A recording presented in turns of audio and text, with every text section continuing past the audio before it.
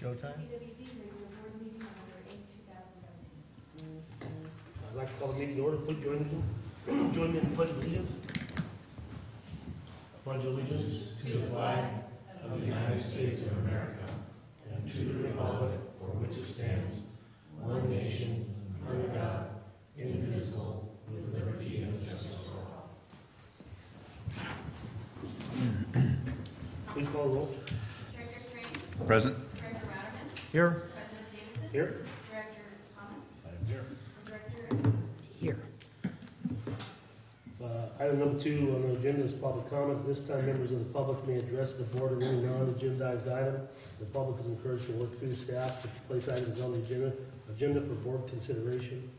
No action can be taken on matters not listed on the agenda. Comments are limited to those to three minutes per person. Is there any public comment today? Seeing none, we'll move on to the consent agenda. Following items are expected to be routine, non-controversial. The items will be acted upon by the board at one time without discussion. Any board member may request that an item be removed for later discussion. Uh, Item three A, approval of minutes for October fourth, eleventh, and October twenty-fifth. Item three B, review of board of directors' monthly timesheets. And three C, approval of claim summary number five four eight. May I have a motion? And move for approval of the consent agenda, please. Second? We have a motion and a second. All those in favor signify by saying aye. Aye. Opposed? Motion carries.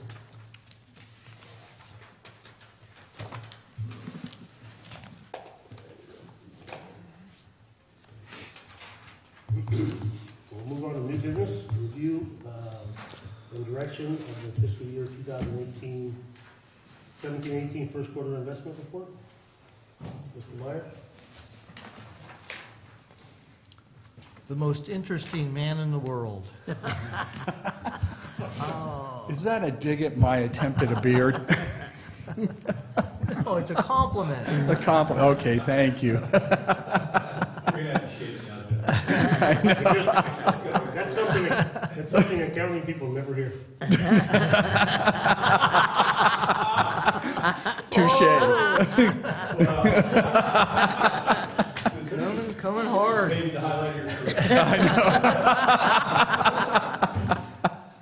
know. uh,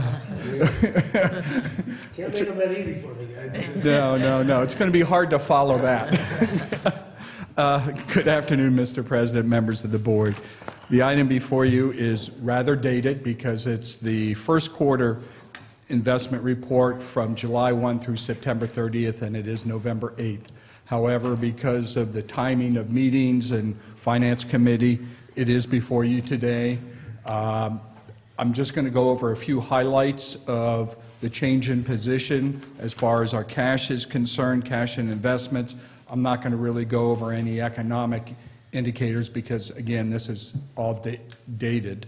Uh, If you look at page one, we did show a decrease of a little over $1.1 million in cash and investments for the quarter ended September 30th.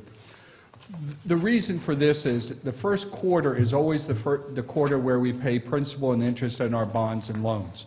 It's that principal amount that really drives up our costs in that first quarter. And that's where the majority of the cash outflow is, um, in addition to just our regular expenses. But that's the bulk of it.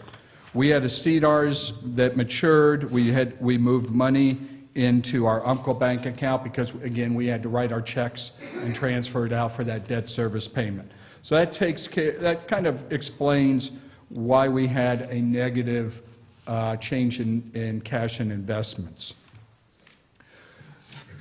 If you go to the second page in the top uh, paragraph, we did have our uh, final disbursement from 16, 17 county tax, uh, property taxes. That's our supplemental tax. That's why you only see $250,000 in there. The majority comes in January and in May. Um, The debt service that I've mentioned was about $1.8 million, a little bit more than 1.8. So again, that shows you that where the large main outflow of cash is. But on the good note of that, we paid off the 2013 refunding bond loan. So that was paid, the last principal and interest payment was made on that particular uh, loan. One of the things we keep doing is taking a look at different investment opportunities. Um, LAIF rate now has been very good to us. As of September 30th, it was 1.11%. It's up to about 1.16, much better than we can get on a number of instruments out there, especially if we look at CDs or something similar to that, because we got to lock in for a a predetermined amount of time, whether it's six months, 12 months, two years. Things are changing. Uh, As you're aware, uh, the president has chosen a new Fed chairman for next year, but from what I read and hear about him, it's pretty much going to stay the course as what Janet Yellen had set forth. There- So we're going to see small incremental increases in the Fed funds rates, which will drive interest rates up slowly. So I'm afraid to lock into a lot of long-term investments when I know the interest rates are going up. But we're still doing well, especially with the investments that we do have, and I don't think we're at jeopardy at uh, any losses. Speaking of which, I know this is supposed to focus on July 1 through September 30th. Last week, I believe it was, we received another distribution on the Lehman Brothers uh, bankruptcy. It was only a little over $12,000, but we're up to 44% recovery now which we were offered anywhere from 15 to 20, mid-20s several years back. So I don't anticipate significant uh, more distributions, but at 44%, we're doing fairly good. With that, I'll open it to any questions.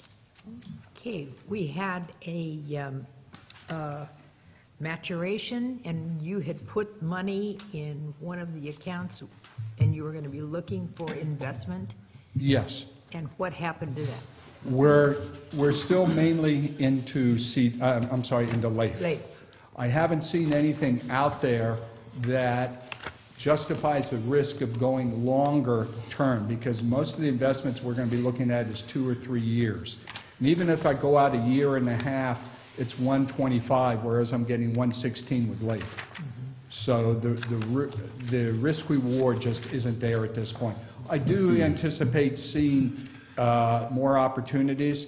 And if we look at the municipal bond market on the secondary market, you're paying such a premium, even though the stated yield could be 5%, you're paying such a premium to buy it, it drives down the yield to where we are right now, 125 to 150, depending upon the length.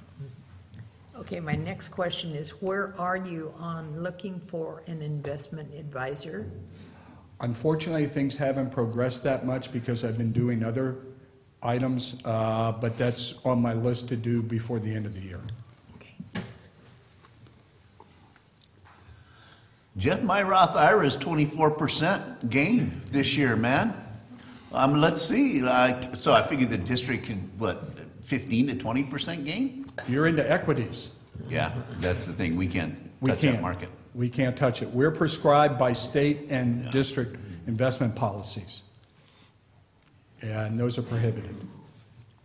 So you're, you're happy, I mean, seeing how those, uh, that market or that industry has behaved, um, you- you're okay, you're comfortable where we are with the limitations that we have?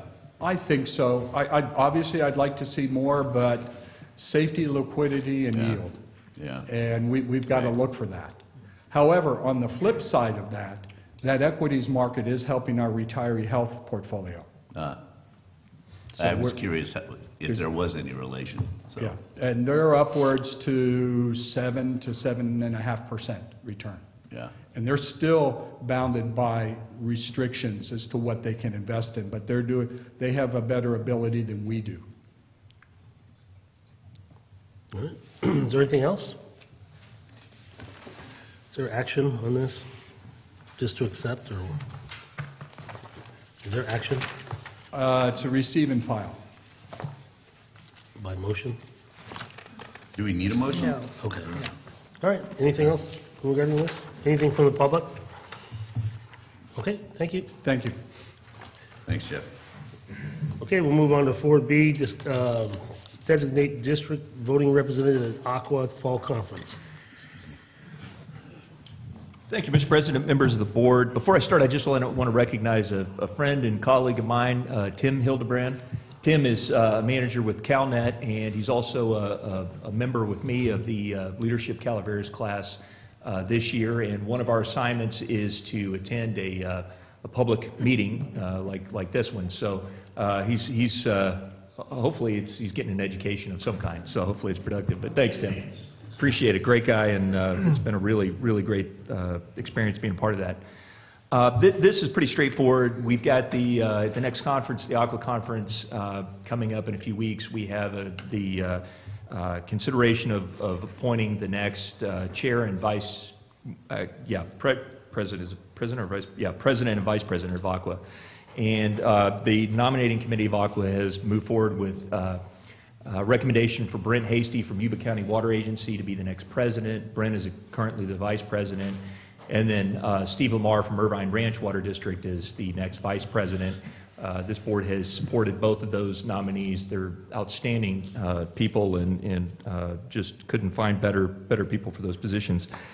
But with that, I very much hope that we'll be able to uh, cast a ballot in support of their nomination, and so this is to formally go through that process so that the board has someone at the meeting who is, who is authorized to, uh, to do that. I would recommend that it be a board member, and if you'd like to, uh, and I'd also recommend that we, that we also, it's not expressly part of the, the request, but I think it would be, be a good idea to add as an alternate as well, um, another board member as an alternate in case, for whatever reason, if somebody's sick or, or can't be there. Uh, So with that, I'll, I'll uh, ask the board to, uh, uh, to make that uh, determination who should serve as uh, Um, Question to the board, who, who all is, is going to be attending? I'll be going. I'll be there.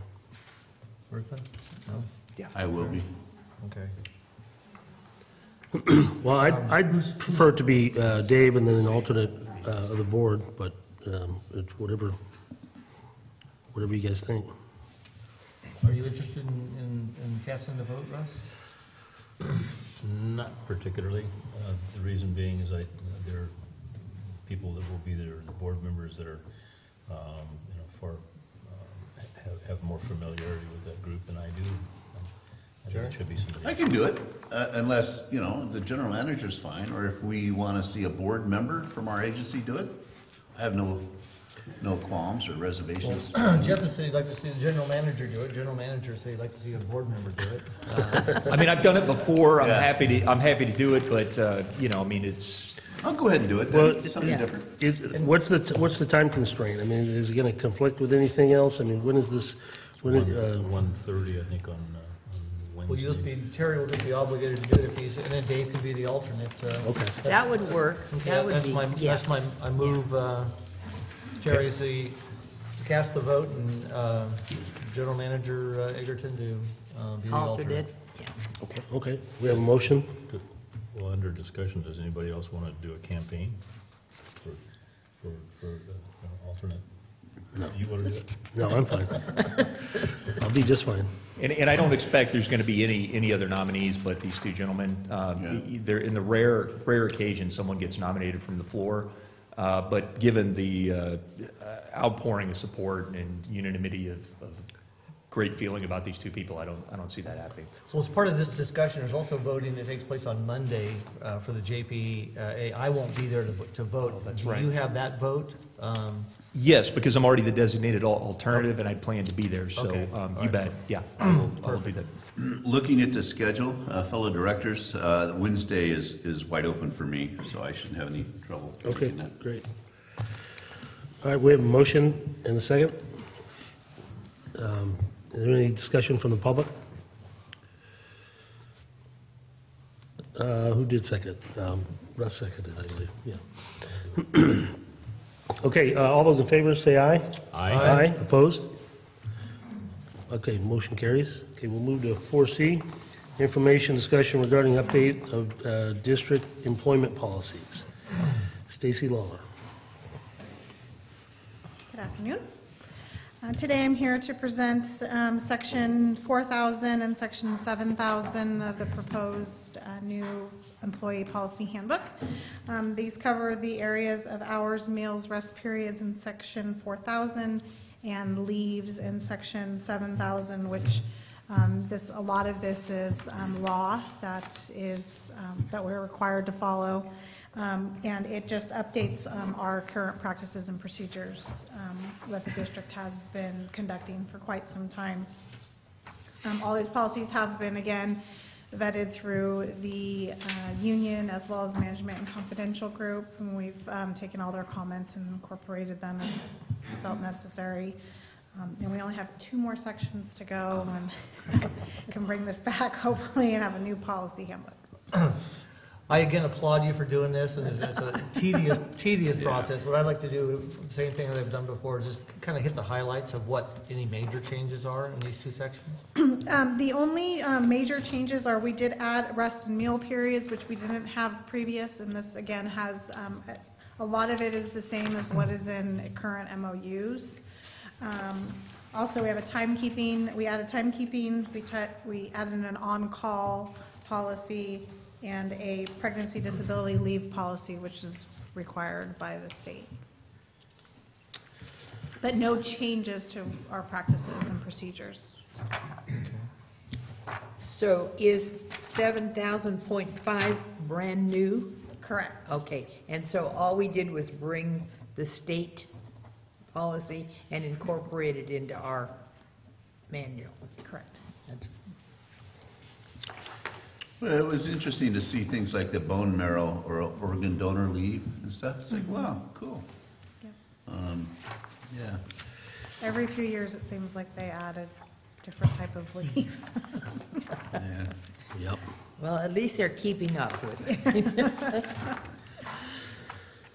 All right, is there anything else from the board? And once again, this is just for us to recognize and accept? Right. Okay. Yep. Okay. Consider it pondered.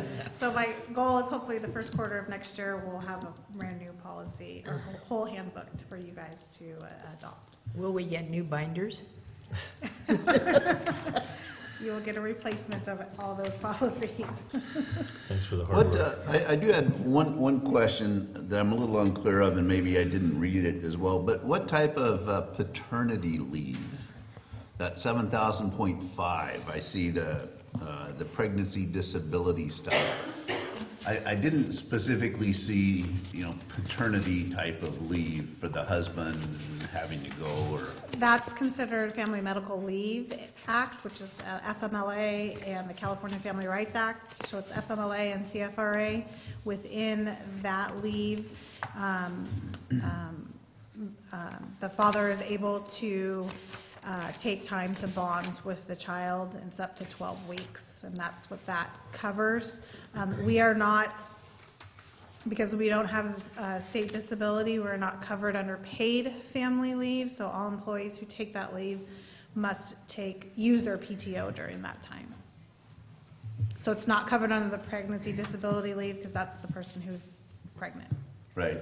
But the spouse of that person who's pregnant that's going through that, there is no leave for them in that type, other than the family? Uh, Not under the PDL, the pregnancy disability leave, under Okay. the FMLA and CFRA, there is leave for them. Okay, Yeah. thank you. Anything else, anything further? Um, Mr. Chairman, before we go on to 4D, um, I'd I'd like to take a two-minute break where I can talk to uh, our general manager about a procedural item that Okay, that is of concern to me. all right. Anything further regarding this item? Anything from the public? Okay, thank you, Stacy. We'll take a short break.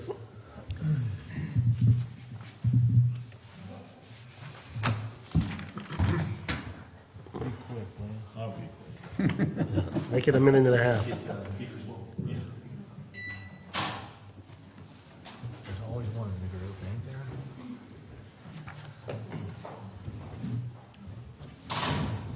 Oh, that's coming into the uh, east, uh, eastern San Joaquin groundwater, so maybe there's some, My thunder.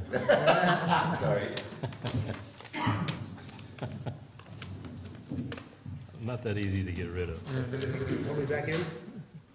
Okay, we'll uh, come back into order. Uh, We will Uh, Begin to discuss four D, discussion action regarding approval of amended uh, and restated East Side Eastern San Joaquin Groundwater Sustainability Agency MOU, allowing Calaveras County to enter in as a member agency. So, so this is something we've talked about in concept in the past, is that the county was wholly interested in getting, joining the GSA at some point.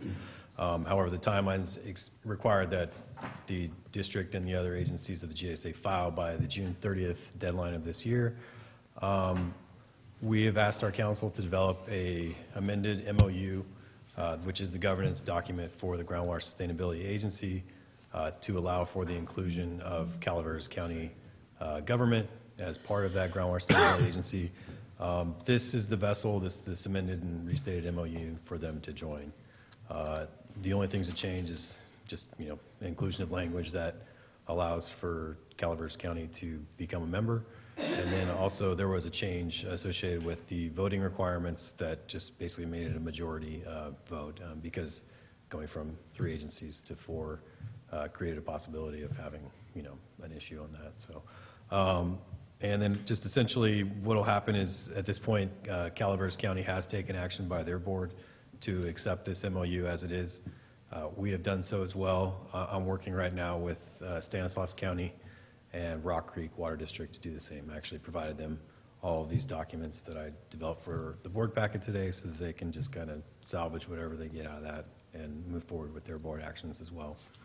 Um, So the recommendation today uh, before you is just to um, pass the resolution um, allowing the general manager to sign the amended and restated MOU, which allows Calaveras County to become a member agency of the Groundwater Sustainability Agency, East Side Groundwater Sustainability Agency. All right. Is there anything further on this? I'd like to hear from uh, Russ on this before, uh, y- your, your opinions and uh, recommendation. Well, I, um, it- it's, it's pretty obvious that, that uh, we should approach this from a standpoint of uh, solidarity within our county. I'm glad that uh, the county uh, Board of Supervisors has decided to, to, you know, go ahead and, and join this uh, GSA. Um, I, I'm, I've said this before, I I don't want to beat it to death, but we, we have a, a pretty good group represented there, and adding the county will even add to the depth of it. Um, It was, a- I'll report later about an interesting meeting that we had today, um, but um, I, me guess. Hmm? What's your guess? No, it's let me guess. Anyway, I, I would uh, recommend that we um, authorize this, uh, or move this, this item forward. and- Would and you I'm to pre- make a motion? I am prepared to make a motion to that effect, yes. Okay, and I'll second that. Okay. We have a, a motion by Director Thomas and a second by Director Nyman. Any other discussion from the board?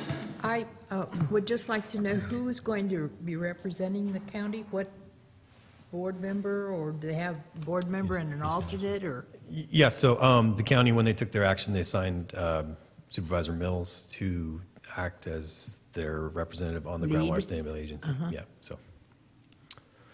He, uh, but he does not, so there's two, two agencies here, obviously.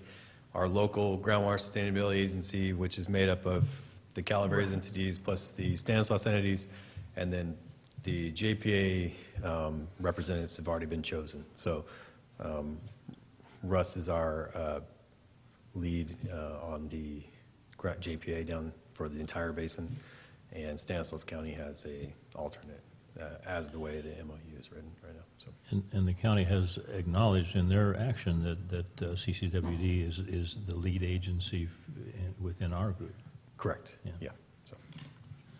So e- explain to me then their concern of creating an overlap filing that conflicted with East Side GSA? Yes, so um, pursuant to the regulations of SGMA, um, what you have is you had to file um, a, basically a a filing, is what they called it, and it's a package of documentation that sets the boundaries of all the groundwater sustainability agencies. Um, And so since CCWD technically our boundaries according to the charter of when we were created is the entire county. Uh, And so if Calaveras County was to file at the same time, a like a secondary filing, it would have created what they called an overlap. And then, and then the entire basin could have been thrown into what they call probationary status until that was resolved. So it was, it was important, and, and this was partially uh, by our own counsel and advice, is to make sure when you put your letter in, you say you're not trying to create an overlap.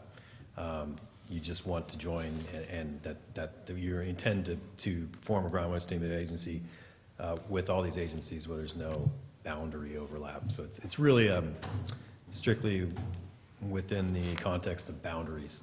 Um, You could have and this happened at one point, and it was a big deal, and in, in San Joaquin County, there was, there was a bunch of these little water agencies that were filing uh, as groundwater sustainability agencies uh, at this rapid-fire pace with um, no real concern for where the boundaries lied. Right. And then you had people filing over each other, and then the county went ahead and made a filing across the entire county. Okay. Which immediately put all of the uh, agencies within San Joaquin County into what they called overlap conditions. And so it required that there was a side agreement amongst all these agencies that they all said, these are the boundaries, and, you know, we agree. And that was how they dealt with that issue over there. Okay. So- So this would essentially reduce the concern that we've got uh, the the Board of Supervisors competing for water management stuff in this county uh, that might be in conflict with what we're doing. Maybe not, but could be potentially in conflict with some of our plans, if I, you know, as we look out into the future.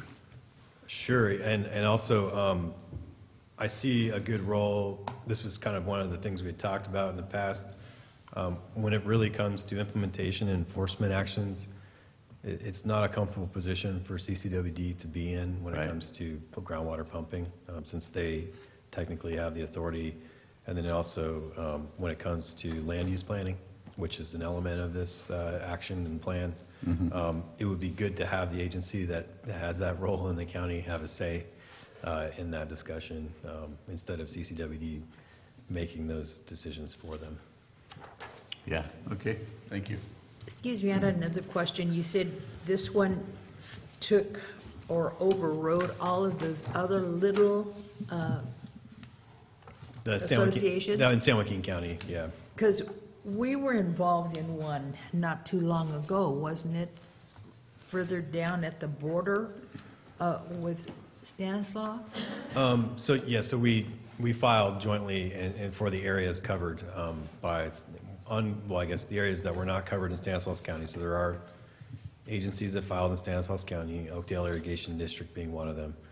And, and so Stanislaus County is covering the areas not covered already by Oakdale Irrigation District. Because there was a little water district. Oh, Rock Creek uh, Rock Water Creek, District, yeah, yes. that one was- That's correct, yes. So, Yeah. so they, their jurisdictional boundary is, is included in, in our filing. That's correct. Okay. Thank you. Okay, we have a motion and a second. Is there any other discussion? Any discussion from the public? Secretary, please call the roll. Yes, Director Strange? Yes. Director Ratterman? Yes, Director Thomas? Yes. Director Underhill? Yes. President Davis? Yes. Okay, we'll move on to uh, update on uh, water storm disasters FEMA reimbursement projects. Teresa? Yes, good afternoon, Mr. President and Board of Directors. Um, I provided you some hard copies of my PowerPoint presentation because after I put it together, some of my slides you're not going to be able to read, so you can follow along. Basically, I wanted to kind of give you an update on what transpired and on the work that we had to do that was involved with FEMA and applying for all these projects that we submitted to them for our disaster relief. Okay. Is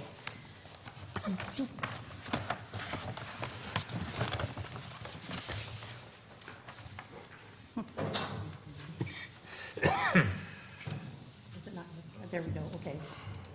Okay. I'll see what page. Excuse me. Um, CCWD set up, once the disaster happened, we had that situation up at White Pines where we had the washout. We took a proactive approach because based on, you know, the fires that we had the other, ye- the year before, that we set up a project account, and that's got sent out to all of our staff. Okay, am I too loud? No. Oh, okay. It's me, my knees are knocking. Could be a flicker, red shafted flicker. So anyway, we set up an account so we could follow um, our staff's time and, and um, their equipment.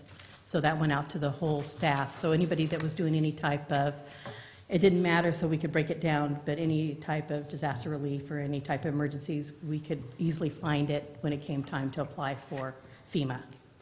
So after that, FEMA, you know, required all the entities to attend an applicant's briefing for potential applicants of the presidentially declared um, disaster. We, we had several people in our staff attend. And after that, you guys, you know, we submitted the Form 9049, giving Dave and I permission, you know, to file, and the board approved that back in March. That's for the request for the public assistance. Um, After, so then all this starts rolling up, and district staff met, we had to discuss all our projects. So everybody came to the table, bringing everything that happened in the disaster, so we could have something to present to FEMA when they came out to visit. And so as, as that happened, FEMA did come out, their, their program specialists met with us, um, and we gave them our, our, our list of projects, that's what they call them. And based on that list of projects, that's the FEMA category. So the categories you have is like debris removal from some of the flash floods. You had emergency, you know, protective measures, that's our generators, you know, when they're running because power outages and so forth. We have roads and bridges, and we all know about those. Uh, Water control facilities, buildings and equipment, utilities, parks and rec. So there's a whole list down here of what you need to look at and qualify. And some of them, some of these projects qualify for more than one. And, you know, really, this is just to give you, give you kind of a, a sense of what goes into these, to this kind of, uh, the effort to get reimbursed for the, the costs associated with the declared disaster. And, and really, it, it is an incredible amount of work that uh, Teresa took the lead on, and staff from many other departments, finance and, and other operations and others, and engineering, that, that really spent a lot of time and effort to make this happen. Uh, In fact, it's interesting note, I've talked to, uh, I talked to someone uh, who happens to be the parent of a, of a friend of my son, and and it turns out she was actually working under a contract uh, with uh, one of the irrigation districts to do a temporary, provide support for this very purpose. She was actually hired as a temporary employee just to do all of the, the work associated with uh, preparing and filing the application for FEMA reimbursement for the the same disaster uh, events that we were dealing with. So really, uh, really proud of all the effort that uh, Teresa and everybody put into, in to make this happen. It's, uh, you know, it's, again, it's one of those things, it's great to see the money come in at the end, but there is a lot of time and effort to make that happen. So from this particular category, um, we come into the project worksheet. And basically, when we're sitting down with FEMA at the table, all this is put in by, by hand. So we're all writing it in by hand and then trying to justify, and they're asking us questions to make sure that the projects that we're listing are applicable and meet their, meet their, their standards. So we do that. And then. Teresa, and the, and the staff that you deal with, those are actually circuit riders, basically, right? I mean, those people are, are, it's not as, not like other FEMA staff who might be like in the environmental review unit who are housed, say, in, in Oakland. These are, these are staff that move wherever in the country there is a, there is a disaster to respond to. So part of the challenge was it, with, with all of the, the hurricanes, as those unfolded uh, in the, in the, in the south, there was a, a, a real push to get all of this done even faster because the FEMA staff were having to, to mobilize and pick up and move out. So- And really what pushed ours to the forefront is because, one, we were proactive. We got, the you, the board, voted and gave us permission to proceed in a timely fashion, so we were first on the list. Okay, so, yeah, they were here for us, and it was, it was, it was work, and it was, and they were on there like, with their, their whips, because they had to move on to other disasters. Um, So you get the list of projects, and so in that list of projects, you're looking at your damage description. You're looking at, was the work completed during this time of the disaster, or is there further work to, to be done? And then the detailing your labor and your equipment. because part of your equipment can be paid for, and some of your equipment can be paid for as well as normal working hours, and then as well as after hours. And so, with that labor and equipment, they look at in-house equipment reimbursed on an hourly rate. They look at force account labor and force, and force account equipment, and that's sometimes your, some of your contractors. And so you have to have your list of materials, you have to have your equipment rental, if you, all these, all this paperwork has to go inside with that. Your contract laborer, you have to have all that paperwork, because TNS did a lot of work for us when, you know, the creek, you know, washed out. We have our generators, we had to have make, model, kilowatt, runtime, as well as GPS locations.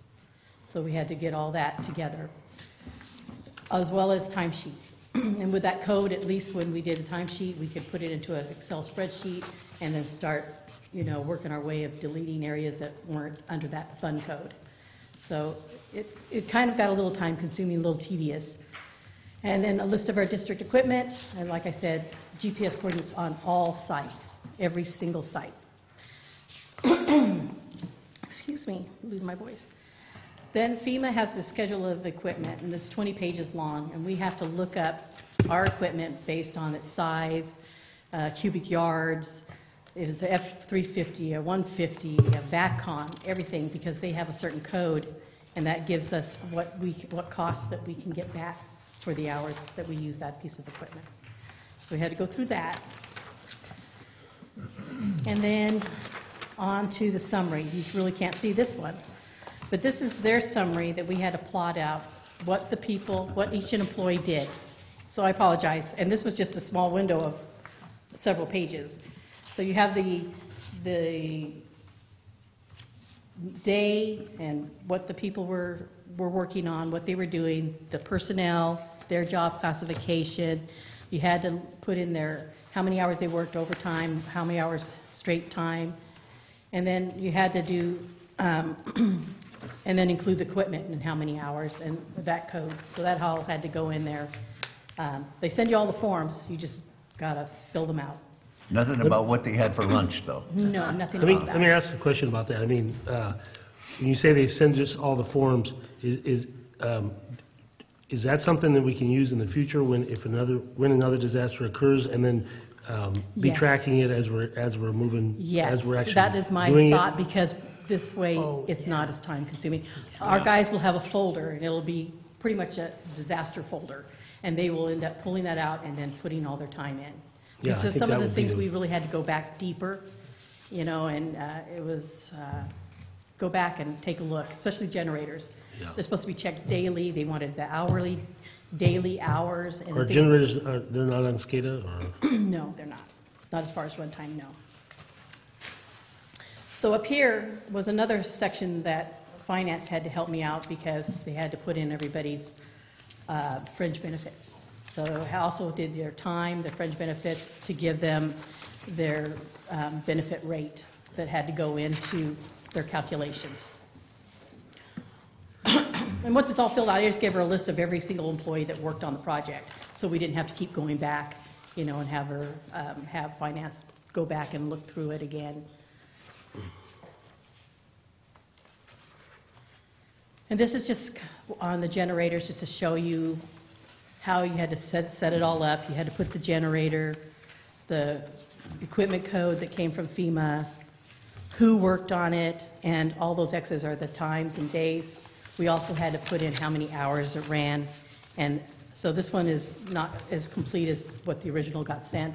It's just too big of a file, wouldn't go in, just to kind of give you an idea of some of the work that had to go into that. A real quick question, are all Sure. those generators ones that we own, or? that Yes, we- every okay. one of them. Mhm. We're pretty good. We have a lot of stationary in place because of our tanks, our wastewater plants, our water plants. You've got to keep those going.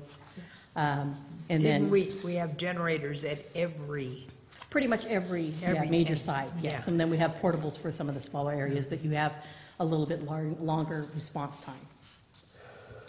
So tho- here's the list of the projects that we applied for, and I'm just going to go kind of give you a brief outline of what they were, and then, you know. so basically, you had the first one, which I I hope you can see it better on your You can't, I apologize for that.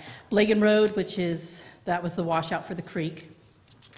Um, And so that we had to install that, the I-beam, we did a lot of emergency work, bringing in the bridge and everything else.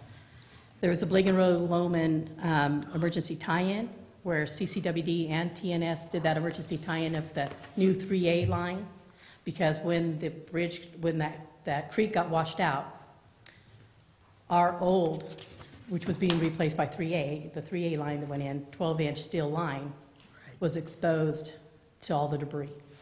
And since we had the fires the year prior, there was a lot of trees and, and brush and things like that that came down through there.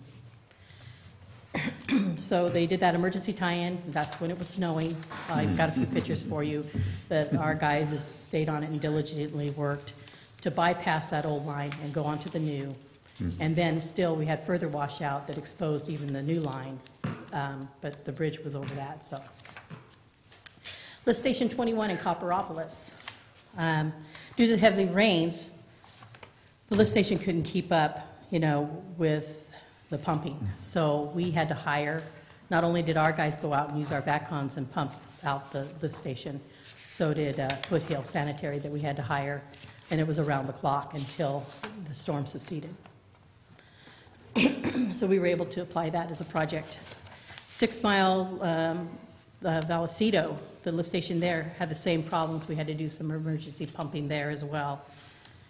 Um, Murphy's, Murphy's Drive project was withdrawn because it was deemed more of a county issue than ours, and we were told that if there's any, any money spent on our part, that we would piggy- piggyback off of the county and charge them for it, and they would then turn it into FEMA.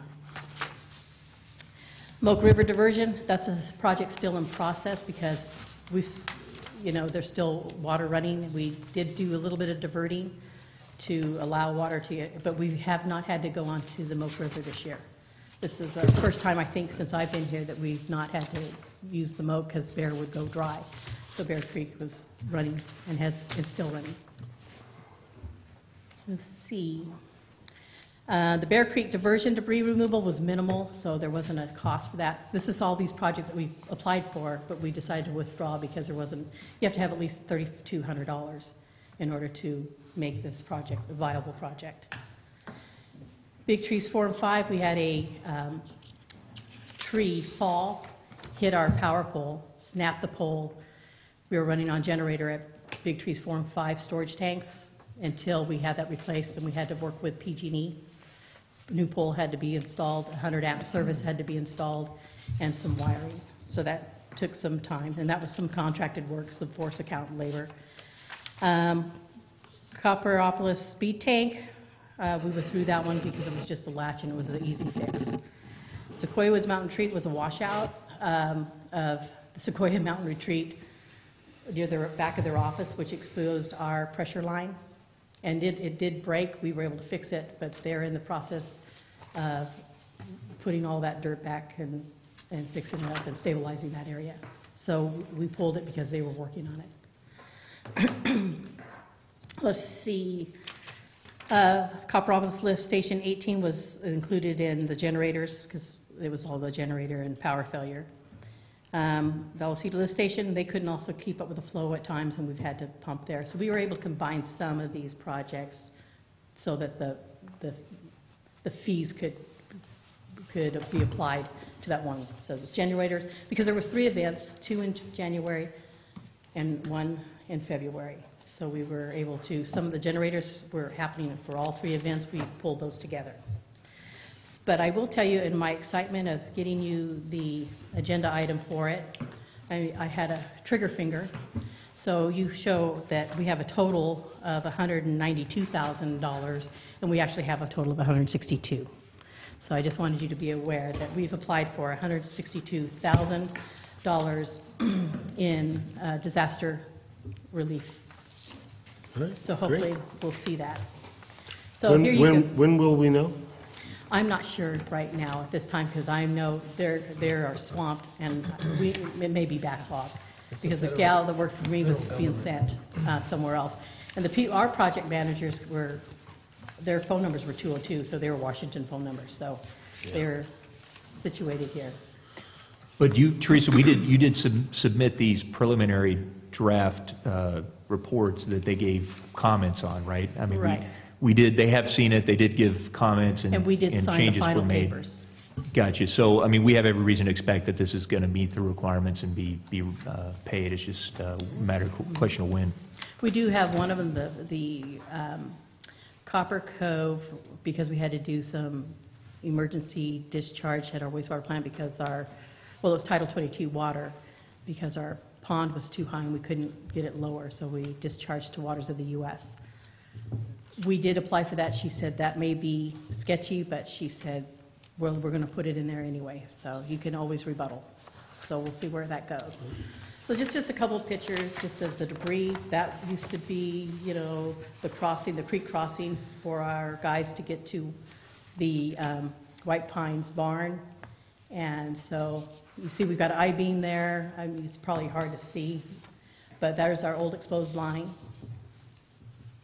Here's the old exposed line where we've got an I-beam and, and we've strapped it to just, just keep support.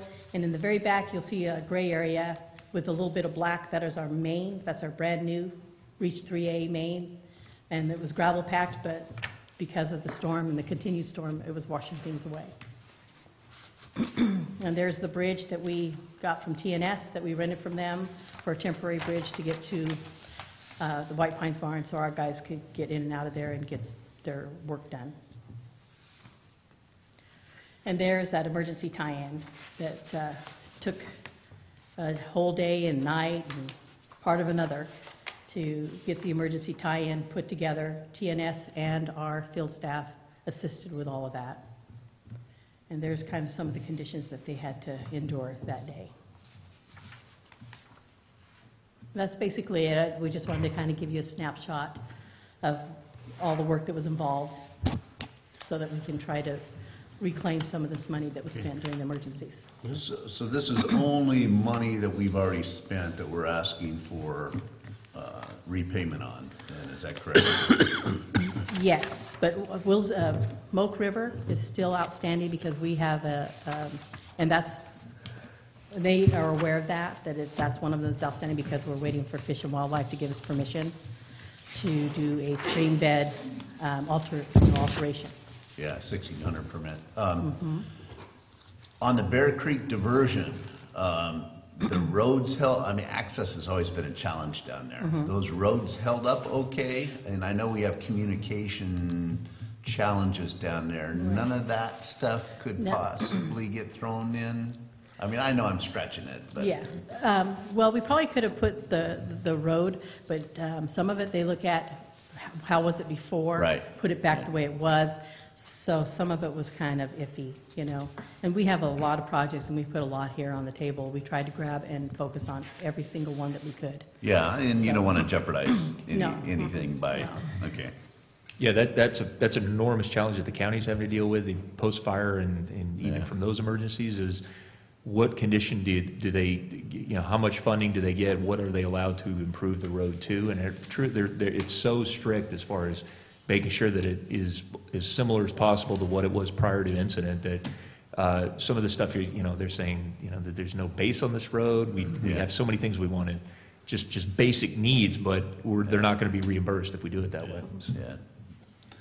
But, you know, I have to another say applaud the, the field staff too, because they were diligent and working hard during those storm events, and so. I just had one question. Uh, Did we come up with any category that wasn't on their chart? No, No, everything. they pretty much have it all covered, so, yeah. So now, Okay. now going through this, we're better prepared to do this in, Yeah. in, in the future. I I a I don't want to see a repeat Yeah. right Well, away. On a going forward basis, as you Right. say, we have everything. We're learning from it, and as we go along, spreadsheets are being made, something to make it easier for tracking time, tracking equipment, tracking hours on the generators to make sure that that's all there, so we don't have to try to backtrack and try to recreate anything. Mm-hmm. And Yeah, I true. want to just reemphasize this last picture. Guys, this was it. This was really it. You know, all of us were out there, Teresa, the entire staff. This Which is one are you? The conditions. Yeah, I'm down. You're the one that, you're the one that took that picture from the car, is what I'm guessing. She's on the excavator. Peter, These are the conditions. I, I just want to note that is, we, we- I guess, you know, Teresa and has this down to uh, polished to a point that now I think even Rural Water Association has asked you to give a, teach a class on this to, uh, to other agencies, right? To give Oh, them a- wonderful. And put something in their magazine. Oh, nice, So- nice. Because a lot of small, ti- this is intimidating to a lot of small systems. with- Oh, absolutely. With the amount of staff that they have. Uh-huh, So- But if they can get ahead of the game and start putting out these forms and having them readily available, Right. it's just, a sm- it's just checking the box and filling it out instead Oh, well, of, that's well, it's, wonderful. yeah, you know, it- yeah, it seems like that, that should be the standard deal is, you know, that you have a workbook, you know, to go from, and, and when, the- when the disaster occurs, the work starts, you know, before they declare the disaster, and, and it's be, you know, when, anytime that's impending, we should be, you know, trying to get ahead of it. I mean, you would think that'd be a a service that they would provide, you know, is your, is, you know, is your disaster handbook, and, and how do you track this stuff? right, and they did send FEMA people out with us. And we sent some of our guys to take them out to the sites that they wanted to see them, so. Definitely be prepared for the Stanislaus fire. Cool. What is the status of our hazard, hazard mitigation, uh, plan? Yeah, our, our plan, and, and uh, that's something that uh, Peter is, is working on and actually has gotten uh, proposals uh, for us to do that. I think the time frame on that, Peter, is what, early next year to complete the, uh, to complete the update of our plan? Good and- job, Teresa, thank you. Thank you. Thank you, Teresa. Yeah, for the uh, hazard mitigation plan update, uh, that's due this uh, next uh, spring. Um, I have some bids, and I will actually be awarding that um, probably this week and get that started, um, which actually takes more coordination and getting everyone together for the uh, coordination meetings for evaluating the hazards since the last update, so. Who's everyone? Um, Usually you end up, you know, coordinating a lot with the county agencies and other utilities um, and other folks as well. There was a group that was created, I, I can't- gosh, I can't remember the term, there's an acronym for it, but it's a, essentially a, a group that looks at this hazard mitigation plan. So we'll have to go through our contacts and try to update that again and, and, and try to get everyone in the same place all at once. And then you kind of rank hazards and revisit things since the last time. Not to expand too far on this, but uh, is, is this something that we're doing in cooperation with Calaveras County? Um, Is it an opportunity for, for some cost sharing? Um, Because the hazards are the same, but they do their own plan. They, um, whether or not they're up to date and such is another story. I think maybe they are now, but I know in the past, they've, they haven't had a disaster uh, mitigation plan and failed to get some uh, funding because of it. But is that, is there an opportunity for that? So they just updated theirs and it was behind schedule and it was actually required so that they could start to get some money for the Butte Fire uh, recovery. Um, I did send the um, request for bids to the same person that did the county's plan, but to the extent that we can, I think we can utilize the fact that theirs is really recently updated to um, help with our plan um, in the long run. So, Okay. and it'll help cut down the costs there too as well. I mean, it's a great idea. If there's any, if there's a, it makes sense at any point to, to try to, you know, It would join be and great to update sync, so that we the- could, to sync the five-year plan. I I believe so, is that right? Yes, Every five It- years. It'd be interesting to s- try to sync it. Yeah, maybe next five years, I guess. You know. We should try, yeah, you're right, we should try to just go ahead and do it, yeah, because they, there's, there's two things, there's a, there's a multi-hazard plan, and I, I don't think that they did that last time. There's, you can do like a multi-hazard, um, plan, it's like jur- multi-jurisdictional plan, which that could actually work out, and everybody could have some, some integration into that. Yeah, I just don't see that, I don't see that they're, they're probably, you know, other than the cover letter and the final page, they're probably gonna look pretty darn similar, You- Yeah, you're right. you know? All right. Yeah. And, and with that as well, we, you know, and of course, having that updated plan is necessary to be able to file, to apply for expense reimbursement like, like this and what we presented, but also to, to go after the hazard mitigation uh, project funding that are projects that meet the intent of the plan. And so that's one that, and I got to give a lot of kudos to, to Charles and Joel, who over the last week uh, worked late nights and in the weekend to get that application out for our Redwood tank replacement project. So that has been submitted to FEMA, and hopefully we'll uh, have more funds coming. Okay, all right, I great. just want to make sure that when everything's published about, you know, the uh, emergency and whatever publications that the directors get to see how CCWD is being highlighted? All right. Anything else on that item? Any other questions for Teresa?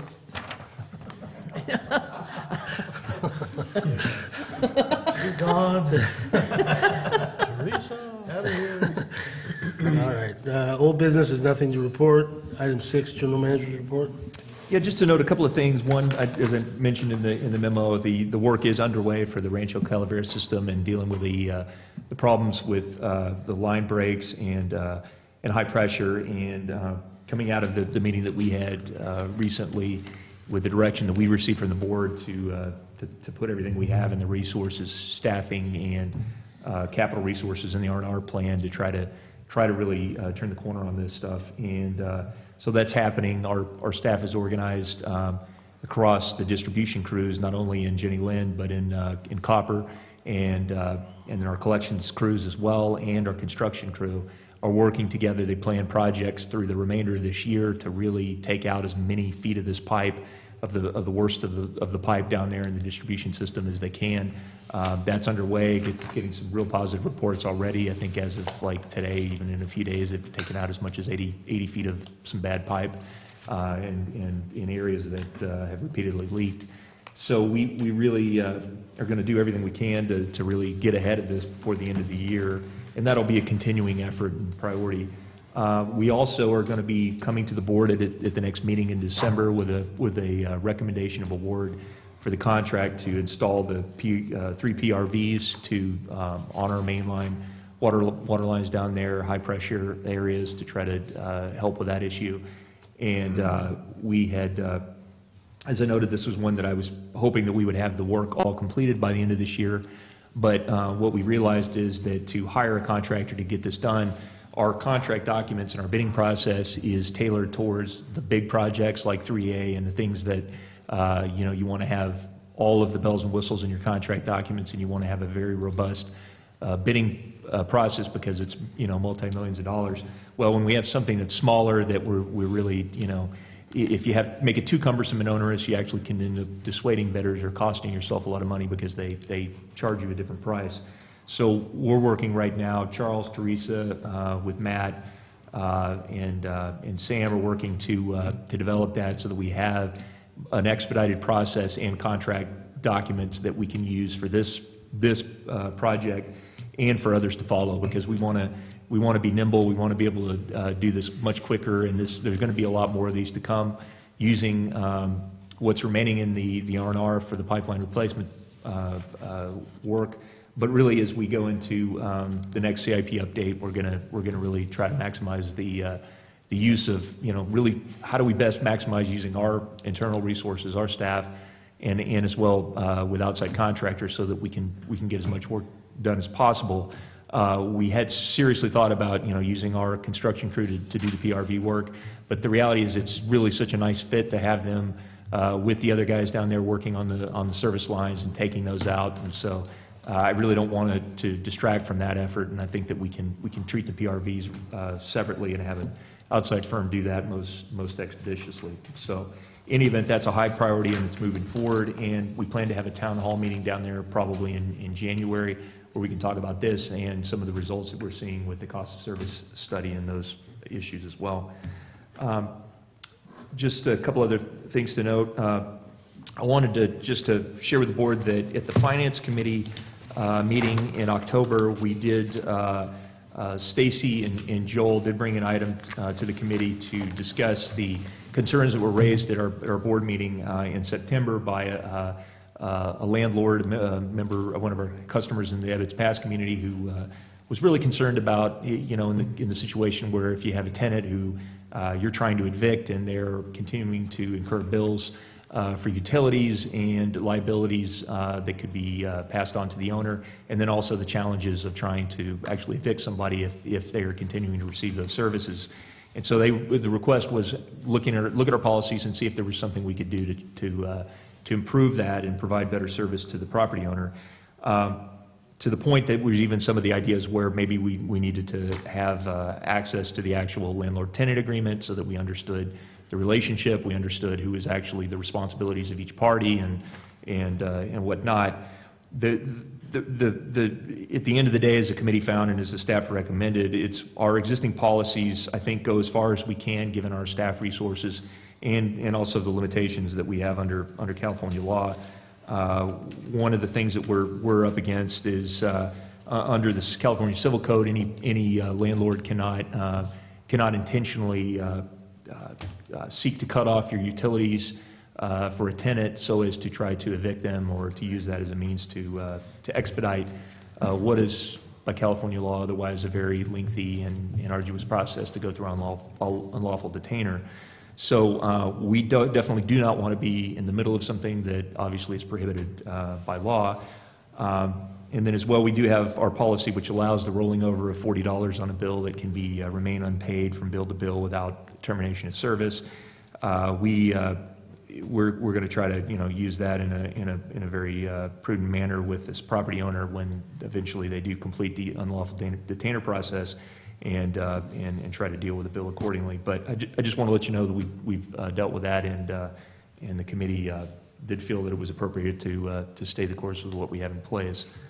Lastly, I just want to note that um, we have, uh, just, just with the incoming new um, uh, president, vice president of ACWA, they, uh, the president is making uh, decisions on who to appoint for committee uh, chair positions at ACWA for the next, the next two-year term. And I, I was asked, um, I Brendan Hastey, uh, I met with him this week, incoming president, and he asked me to chair the Federal Affairs Committee. So um, it's a real, real honor, and uh, I think it's a, a real positive thing for, for our, for our agency and our region to have uh, not only the fact that, you know, I would be working, I, I have served for vice chair, but for some time, but I would have more direct interaction, particularly with the DC ACWA staff, who are just phenomenal, and deal with a lot of the same issues that we grasp, grapple with um, in, in the work that Mia does.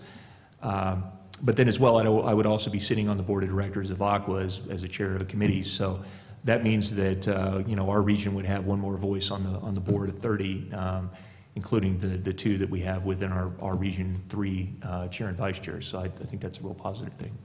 And that's all I have. Thank you. Congratulations on. Thanks. That's good. Dave, I, I would like for you to, uh, to share, or maybe, as I talk about uh, some of the uh, activities, the meeting that we had in West Point, because I, I think that that maybe uh, provided a different perspective on disadvantaged community concerns and the stuff that I've been trying to work with that community all along, and I just kind of felt like, okay, now someone else from the district understands that a little bit better.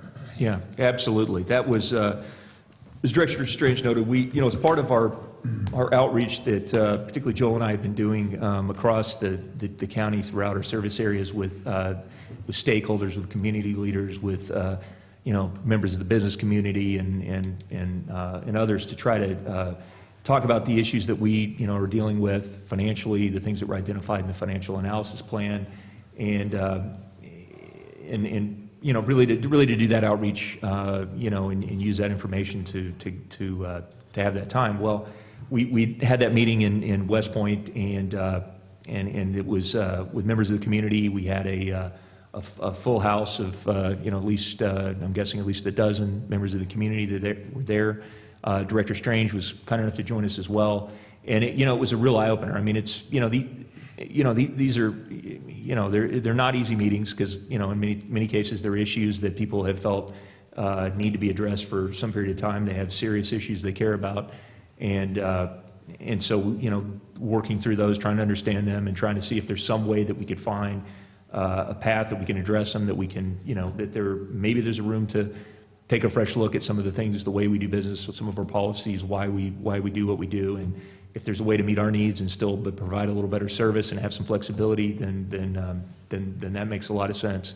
So I think we had that opportunity. We also got through a lot of the- financial challenges and, uh, but, but really those issues about the disadvantaged community and, you know, we even had a long conversation about, uh, you know, the constraints and the potential, but the potential opportunities on uh, something in the way of a lifeline rate, what the state is looking to do, what maybe uh, an alternative pathway that maybe could be more discretionary by local agencies. And, uh, you know, it's, it's, uh, there- there's, there's, you know, I think the best thing to come out of this is we're going to, uh, we've now organized this group, we're going to be meeting with them on a continuous basis, and we plan to be back within the next month or two to continue these conversations. And I think once we get information for the cost of service study, that's going to be really uh, helpful for us to, uh, to continue that. But, um, you know, bottom line, we want, we want people to know that we're, we're being completely candid and upfront about what we're, the issues we're dealing with and, and what the potential options could be and trying to be creative and, and exploring all options. And, uh, and, and so I, I think that, uh, you know, it's, again, it's not easy. There's still, you know, some things that uh, will take time to try to work through, but I think people do, at least, I, I hope they can appreciate and appreciate, appreciate the fact that, you know, we don't have another agenda. We seriously care about what their, what their opinion is and, and how they, um, how they view these issues. So I, I know the feedback is incredible. Uh, We've already gotten some ideas through these efforts that are things that we're going to be, uh, you know, all kinds of different ideas, things that we're going to be putting in place, recommendations we'll be bringing to the board um, on things, changes, changes in the way we do business that could save us money or make us more efficient. So uh, again, that's just going to keep going, and if, if any of the board members have any other uh, groups or individuals that you would like for us to, uh, to reach out to, please let us know, and uh, me or Joel, and we'll, we'll, we'll do that. Good, thank you.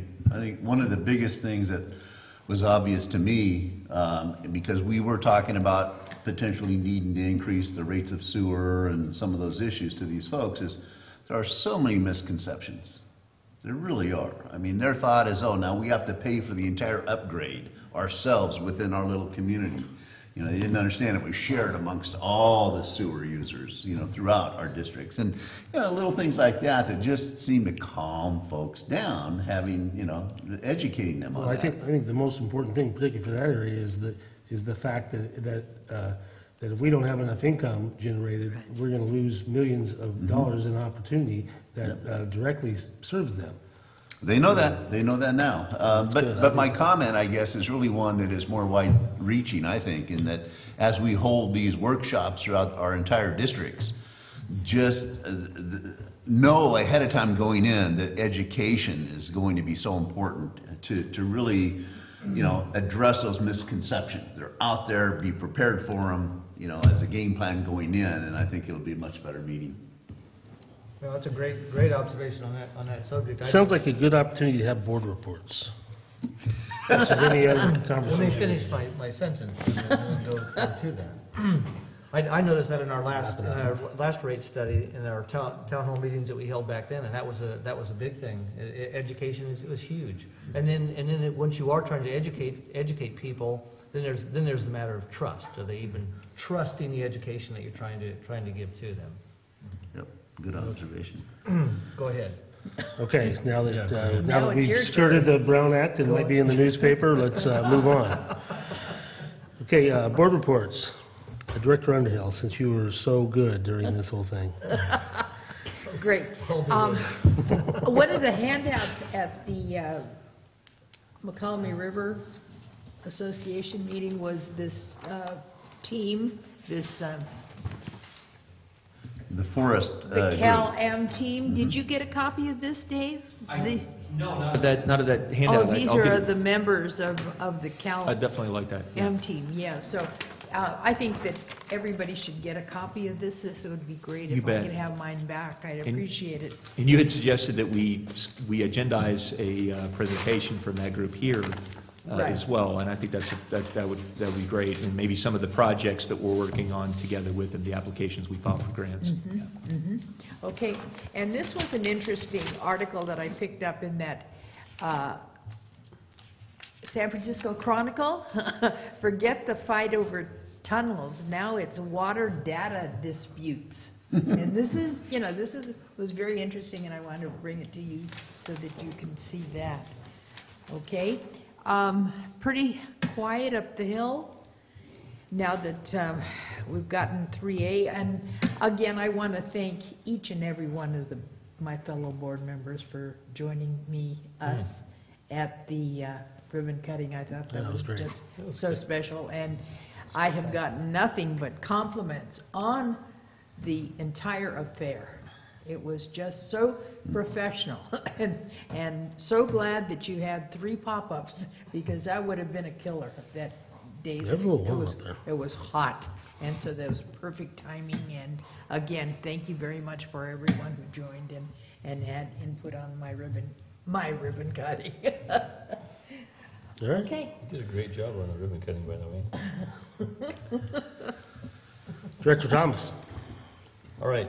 um, Gosh, there, the meeting that I went to this morning, and, and Peter was there, and, and both of us were chomping at the, at the bit to try to, to move things along.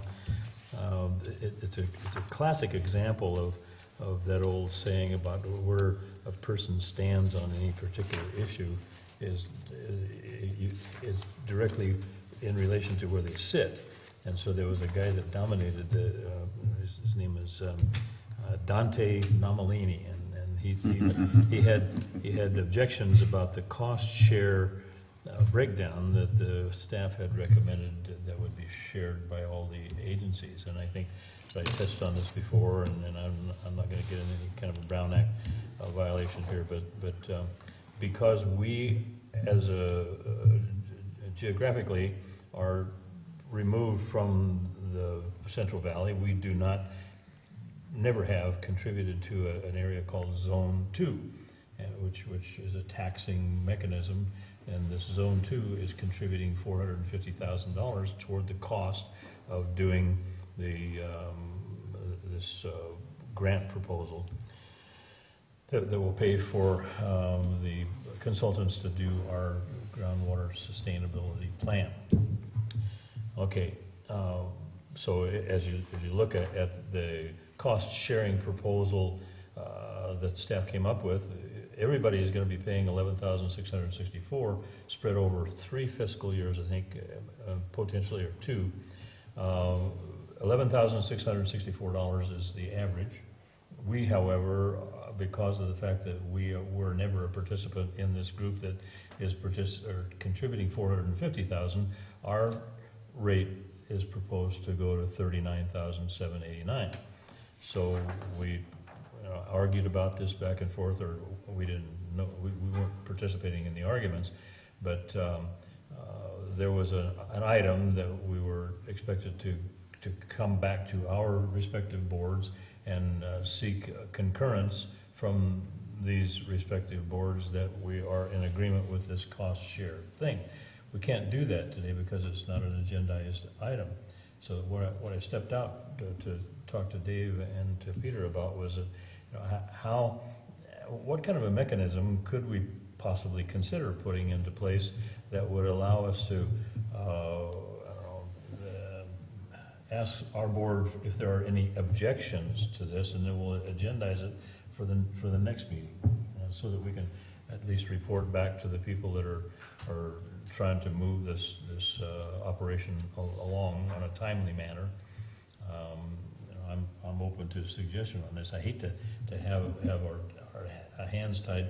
I, and- is there, is there uh, an opportunity to have this as a, uh, engineering committee or, um, or executive committee or something? Because I, I certainly would have some, uh, opinions about, about this. And, and I've been involved in the formation of, the Upper Mo- Upper watershed, I remember very similar things, uh, uh, how it all came about. So I definitely have some opinions, and I hate to see this go so far that, um, that we end up just objecting, objecting to the whole process. because we won't have time Where- When's your when we next come meeting? together, uh, full board, Uh, right? Right, the, the next meeting will be scheduled on uh, December the thirteenth. So, Well, personally, for me, I'm not gonna vote on anything I don't know anything about, or, or I feel like I don't know enough about. Yeah, and- Um, Uh, do we need- and we, we don't even have an agenda item to, I, I would, sug- and as as I recommend, it- why don't, we'll go back and, and probably chat with Matt and see what the best, the best venue for, if it could make sense to have some kind of a standing item related to the groundwater uh, effort, or um, should we use the, the committee, but we'll make sure, and, and and I think given the timing of this item, I don't think, um, I think we'll be okay, given where the group's going, so we'll, we'll make sure we find some way to get it back to the board in a timely manner before. I have no forward. problem with a special meeting too, whatever it That- that takes, was because what I this was is really important gonna item. suggest. if, if, if he needs to report back to, to the groundwater, groundwater sustainability, um, meeting, which is, again, prior to our next meeting, Right.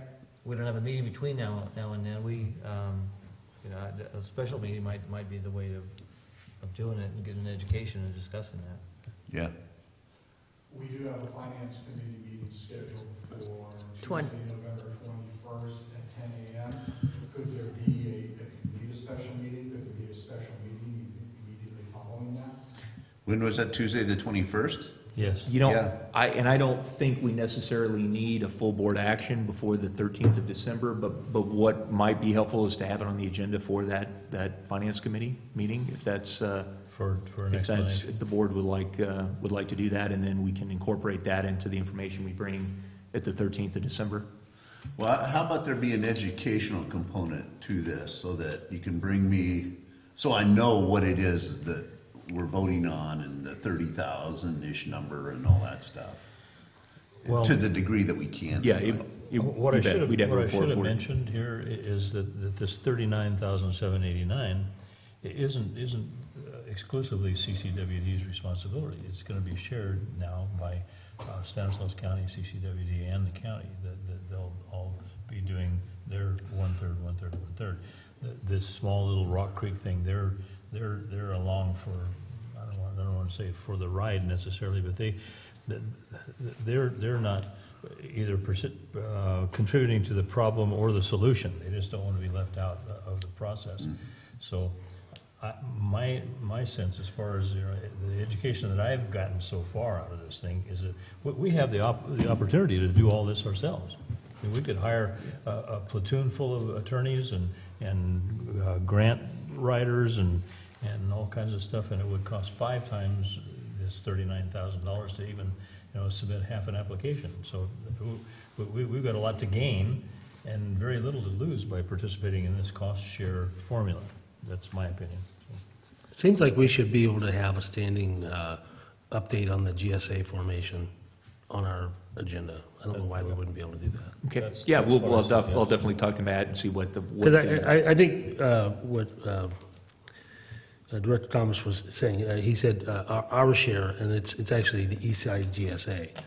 So it's, it's not just CCWD's share uh, is 39,000, it's, the- it's that group. But, but anyway, I think we should find a way to get this uh, before us, before this thing's uh, adopted. Because eventually our board's going to vote to adopt this or not, and, and uh, the cost sharing, and not, not just of, you know, the formation and stuff, but, I mean, there's, there's significant project costs that, were- that are going to occur, that are going to be, you know, very, very expensive, you know? And, and the education, I think, is, is important. I'd like to understand what the eleven thousand dollars is that everyone else is paying and who and how that, that formula came up. Is that being split equally amongst four or five different groups? But before we go any farther with the conversation, I would highly recommend we, Yeah. we wait till we have this on the agenda and and channeling Matt here, I'm thinking probably, probably should do that.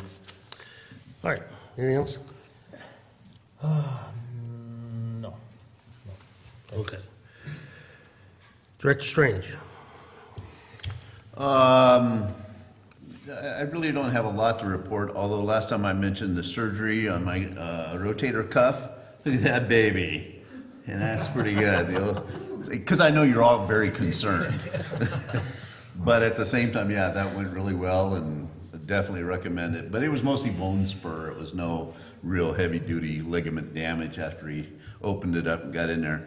Um, But uh, we talked uh, quite a bit earlier, David mentioned about the meeting in West Point. Again, I think it really, it went real well. We've discussed uh, that already. Um, one of the new things that was just brought in front of me today that I'm very, very concerned with has to do with the uh, O'Connell and Dempsey report on the New Melones study and funding efforts in our neighbors uh, and how they're, you know, the, the potential impact of their perception or their uh, stance on this issue. And so I don't know if that's a closed session discussion that we need to have or, or what, but uh, I really feel like we need to start gathering uh, strategies on how to move forward, uh, knowing Congressman Denham's perspective on that now. That's just kind of all I'll say to avoid any sort of Brown Act stuff or whatever. You Not bet, and- and I'd be happy to talk with you offline. I, I've had a, actually had a conversation with reclamation staff today, so I can give you the Oh, latest on that. Okay, perfect. Um, That, that's my big concern that I- I'd like to be able to address real soon, and maybe um, your statements will relax me down a little bit from that. That's all I have to say. Director Ratterman? Um, I just want to announce the cancellation of the CAMRA meeting, uh, in, which was being held in December because it's a rel- relative, uh, uh, to the holidays, uh, uh, it's been canceled, so there's no meeting on the twen- on December twentieth. Mountain County's, uh, uh, November seventeenth meeting has also been canceled. It was supposed to be held at TUD on November seventeenth, but it's been re- rescheduled to January nineteenth if anyone's interested, at TUD. Mountain counties, right. That's all I got. Okay. I have no surgeries to report. Oh, man. No barking dogs or anything? No, neighborhood's doing good, though. Okay, uh, I have nothing to report. Uh, We will be adjourning into closed session. Is there any public comment on our closed session agenda? Mr. President, just a note on the uh, future meetings, uh, that we, we may ask the board to, uh, to call a special meeting before the end of the year. Uh, If we, uh, depending on what happens with the pretreatment project at Jenny Lind, right now, we, have open bids, we've got construction bids open, and we're ready to go on, on entering into a contract with the manufacturer to have the, uh, equipment uh, uh, uh, manufactured. And, uh, but all of that is pending completion of the environmental review by FEMA. Uh, We've been in close contact with, uh, with our, our project manager at Cal OES, uh, who's been great and uh, is, is doing everything he can to move that forward.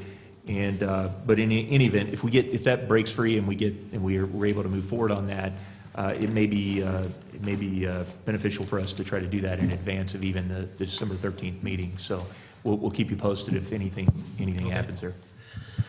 All right. Uh, Seeing no public comment in closed session, we will adjourn the closed session. Mona? Can you, um,